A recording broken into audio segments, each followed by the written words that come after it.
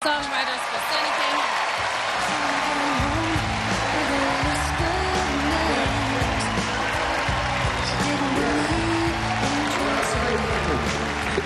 Please calm down.